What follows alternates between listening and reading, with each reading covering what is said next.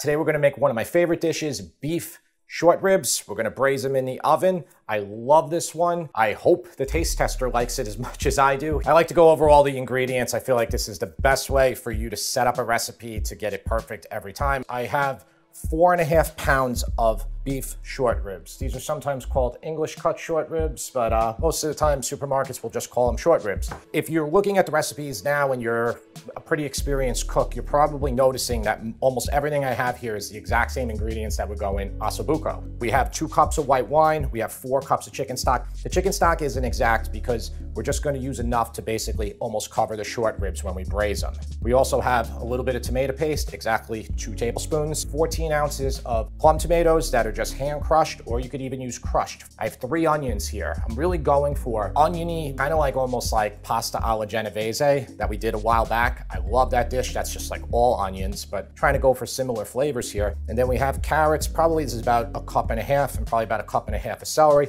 To be exact or not exact, it's three medium carrots and three or four celery ribs. I have 10 cloves of garlic that I just smashed. For our aromatics, we have two little sprigs of rosemary, one huge sprig, or you know, if you want to like actually count these as sprigs, we have a bunch of thyme, and then we have two dried bay leaves. If you have fresh bay leaves, use them. Let's get into searing the short ribs right now. Every place you buy them, they're gonna be a little different. These are English cut short ribs, which means they have a bone, okay? The meat this way. Some places will cut them four inches long. Some places like this will cut them two to three inches long. I actually prefer the smaller ones. You can get a better sear on all of them, build a little bit more flavor, and it's a little better for the person. Sometimes the really large ones, they'll have more fat on them. Fat in the middle is fine. You're not gonna do anything about that. These aren't cheap anymore, guys. These were $11.99 a pound, so I'm using four and a half pounds here, where this is kind of a fancy meal, and or, you know, at least it's not an inexpensive meal. You might be able to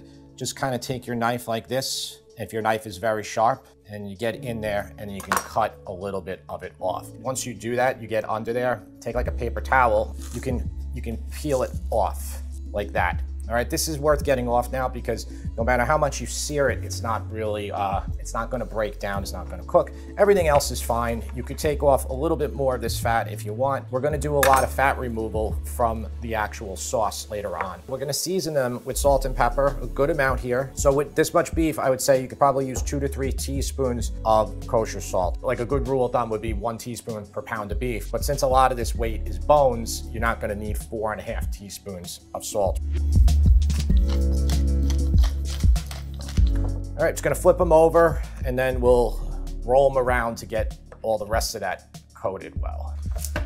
Okay, and then flour, I have about, I don't know, a half a cup, a cup. Just, you're gonna need enough right here to do this job, guys. So go in on all sides and we're going to then knock off all of the excess. Just, just need a very, very thin coating and then we're gonna put them on the parchment paper. So let's get all these dredged. I'm gonna use the huge pan. Maybe we can fit them all in one batch. If you, uh, you know, if you got the time, take out a Dutch oven, but with this many, it'll probably, probably have to do two or three batches. We're gonna heat this up to about a four, maybe a five out of 10. We're using stainless. We're gonna let it heat up for about three, four minutes before we put our oil down. All right, guys, this is hot enough now. I only need a couple tablespoons, maybe even one tablespoon. I'm using olive oil. I, I know it's, I'm crazy, right? I'm not using vegetable oil here, just a little bit.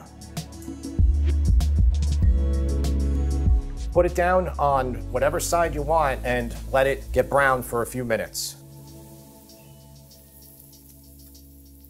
It's tempting to put them all in, but if I put them all in, we're probably not going to get a decent sear on them. We'll go in two batches. I, I, I probably could fit them all in there, but you know, I'm doing the best for you guys. That's what I want to do. It smells like beef in here. If I heated my pan up properly, once you grab these, there will be no sticking. So let's see. All right, yep, see, look at that. See how it skates around? There we go. That's nice. That's brown enough. Gonna hit up all sides, guys. It's gonna take about two to three minutes per side to get them all to look nice and brown like that. That's beautiful.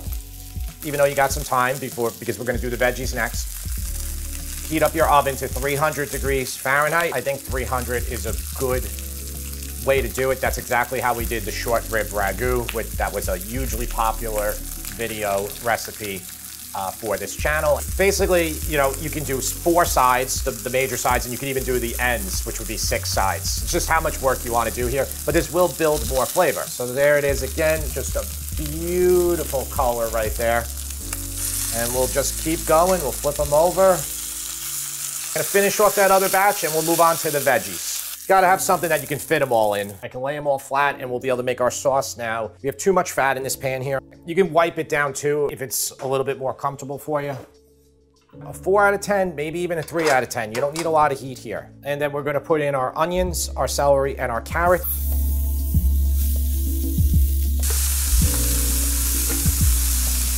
And we're gonna cook these until they get soft, probably about 10 or 12 minutes. Don't rush this step. It's gonna build some good flavor here. So here's all the fat that I took out. It's this much in there, I don't know if you can see it, probably can't, but you know, it's about four tablespoons I took out. I probably have about two left over in here. If you think you don't have enough now, you could pour a little bit of that back in, or you could just use a tiny bit of olive oil. Just to get these vegetables to cook a little bit quicker, I'm just gonna sprinkle a little bit of salt on it. How much did I put on there?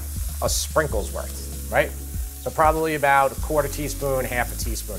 Just enough that will pull a little bit of the water out of the veggies quicker. So guys, this has been about eight minutes. You can see how they are.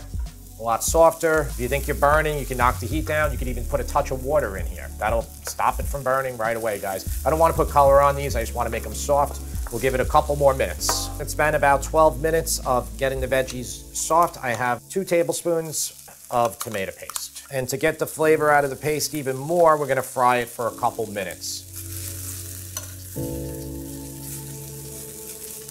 You don't need a lot of heat on it. The paste itself is high sugar, so it wants to burn. You can put a tiny bit more oil if you need it. I'm just gonna try to mash it in there with the vegetables, kind of get it all distributed. So we'll let this go for a couple of minutes. And it wouldn't be a sip and feast video if I didn't screw up. The veggies, before you put the paste in, put your garlic in. We're gonna do it now. We're gonna see if we're gonna be all right. The dish might be ruined, guys. Doing what you can, doing a little improvising. If you want to do this even a little bit better, just take another little pan, heat it up, and then do your garlic until it gets golden and then just put it right back in there. We'll make some room on the side here and I think we will be fine. Let's talk about today's sponsor, HelloFresh. Tara and I spend a lot of time thinking about food. Between creating recipes, filming, photoing, and writing blog posts, we sometimes don't want to think about food anymore, but we still need to eat, and we always want something that tastes great. So when we need to hit the easy button, we rely on HelloFresh. HelloFresh is a meal kit delivery service that provides all the ingredients and instructions you need to create fast and fresh recipes at home. This helps cut back on expensive takeout, and since the ingredients travel from the farm to you in less than seven days, you can always count on them to be fresh. HelloFresh has something for everyone. They offer 35 weekly recipes to choose from. And if you've resolved to make 2023 a little healthier, they've got calorie and carb smart recipes as well. And let me tell you, these salsa verde enchiladas were out of this world. So guys, use my link or go to HelloFresh.com and use code POGSIPJAN21 for 21 free meals plus free shipping. And a big thanks to HelloFresh for sponsoring this video. All right, we got enough color on the garlic. Well, we got a little bit of color on the garlic. I'm gonna put wine in. Guys, you don't need to put you don't need to crank it up high yet until you put it in. Keep your head back so you can keep your eyebrows. That is two cups of white wine. I'm using Sauvignon Blanc, but any white, dry white wine would be fine. So that means like Pinot Grigio. If you do a Chardonnay, you want to use an unoaked version. That means it's not, what's the right word I'm looking for, Tara? Like when you make wine in an oak barrel, what is that called? Fermentation. Fermentation. It's not being fermented in, a, in an oak barrel because oak Chardonnays have a very, very strong flavor and they will dominate everything else in the dish if you cook with it. So now that our wine is in, we can turn it up. And what does the recipe say here? It says five minutes. And it says to scrape the brown bits off the bottom of the pan. Do not say that word in this kitchen ever. Kind of a running joke now, guys, you know. It's been going for about three minutes. It's reduced by about half. Uh, I'm gonna lower this heat down to about a four out of 10. And then we got our 14 ounces of crushed tomatoes, whether you crushed them yourself or bought them from the store, that's fine, both is fine. I have two bay leaves and I, to make it easy, I would say just tie these together. All right, so guys, we're gonna let this simmer just for a couple minutes and then we are going to pour this on top of our short ribs and we're gonna get them in the oven. Uh, don't add a lot of salt here because this is gonna concentrate in the oven with the salty beef. Oh man, that is delicious. So I'm just gonna put some pepper in here right now, just about that much. All right, and then we're gonna turn this off and we're gonna pour this right on top of the short ribs. I'm just gonna arrange these where they're the lowest they possibly can be right now. Here's our wonderful sauce.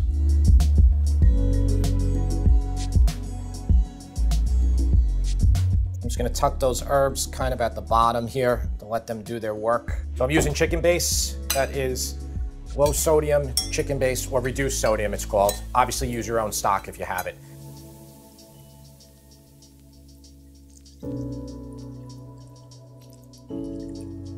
Almost covering, it took about three cups to do that. So we're gonna cover this up and then as tight as you can get it, maybe even use two layers of foil. And then we're gonna braise this for two and a half hours in the oven at 300 degrees Fahrenheit in the center of your oven. After half that time, so an hour and 15 minutes, go in there and flip your short ribs.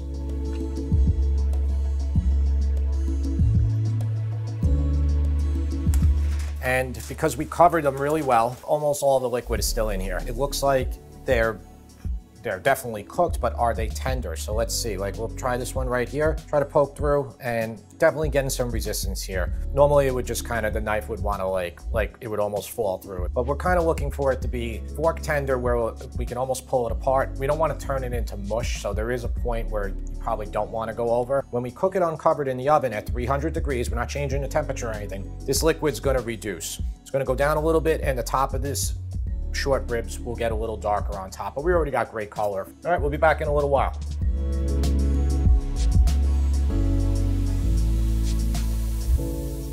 Could they go longer? Yeah, they probably could. And, you know, the longer you cook them up to a point, the more and more fat will render. We already trimmed a lot of the fat off, but let's just check them for tenderness right now. Okay, very tender. Like if I just put it in and I just move this, it's all gonna rip apart. My preferred way to do this is to separate the short ribs now like I'm going to do, and then to put the liquid, whether in here or in another container in the fridge overnight, and all the fat will come to the top. But we're gonna do our best right now to degrease some of the sauce. Here are all of our short ribs. You can also take these and you can broil them, which will kind of like sear off a lot of that outside fat too, which is nice and it'll darken them up a lot. So you can take out all your herbs. One simple way to remove the fat is just with a spoon and just put it in a little bit and then the fat is all gonna come right like that. Put it on top.